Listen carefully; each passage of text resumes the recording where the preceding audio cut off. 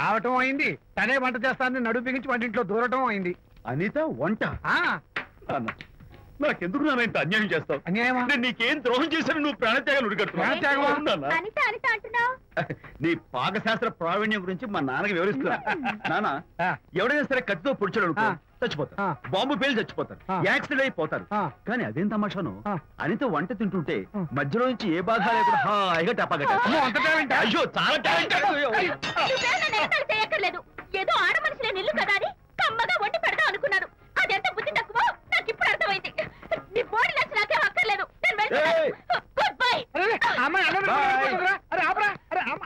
అన్నం నాకు తెలుసు నాన్న నువ్వు బాపు గారితో దిగిన ఫోటో ప్లీజ్ ప్లీజ్ ఒక్కసారి.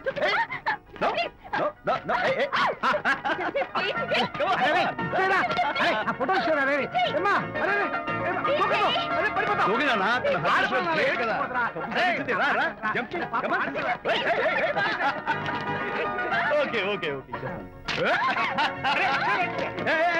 చికెన్ బక్ బక్ బైక్ ఓకే చేస్తాం చేసుకో. నిన్ను.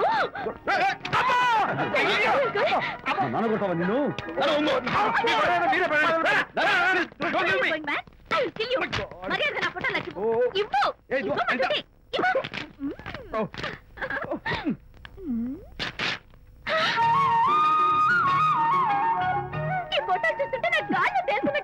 నాకు మాత్రం పర్వతాలు మోస్తుంటాం No, no. Sorry, sorry. I love this, Vijay. Thank you, thank you. It's okay.